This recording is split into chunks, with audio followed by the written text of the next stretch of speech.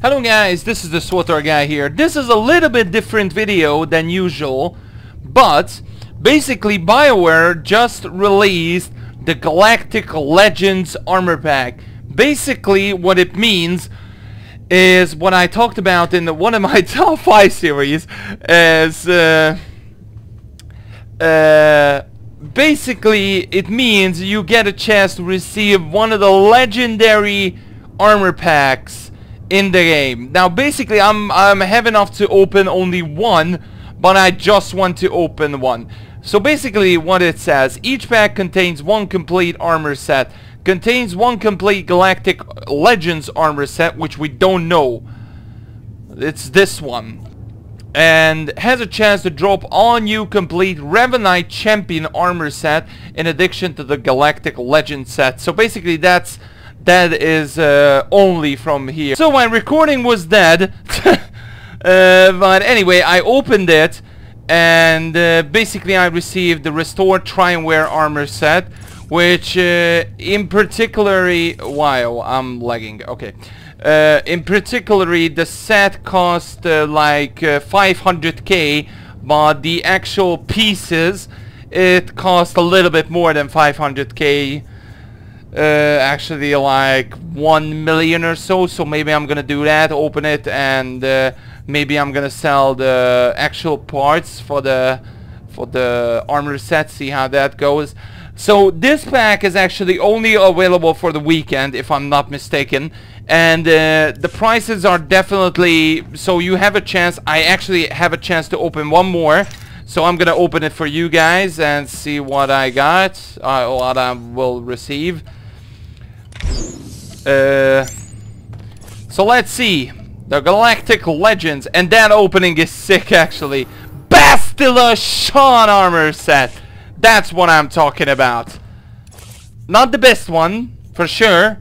But it's worth 3 million credits. I don't know, like, the actual pieces. How much it cost. Uh, well, it's more. Like, that's 758. That's like one... Uh, uh, 61.6 million, uh, 2.6 million, 2.6 million, uh, yeah. The actual pieces cost a little more than that, so maybe I'm just gonna do that. Basically, this is only available for the weekend. So if you want, just go ahead and just open it and uh, probably these armor set prices are gonna go down really fast because a lot of people will gonna buy this set for sure. Because a lot of people want money instantly and that is just a perfect chance you will receive quick money. But of course you can get really bad uh, stuffs like this one. Not the best one not the worst one but it's still bad compared to the best Shan armor set. So basically if you want to open it immediately or because if it's only available in the weekend, I think, you can save it and uh, sell it later. Because if you're buying today because it's Friday right now you can uh, sell it after the weekend's over. So probably like Thursday or so. Uh, and you can probably try to sell it at least like 5 million because all of these sets are worth like at least a decent amount of 5 million. So you can uh, start getting a little bit credits, uh, more credits. And it's actually not costing a lot. Like 750k Cartel Coins is, I think, not much. Also another thing, the black dye module and the white dye module is back again.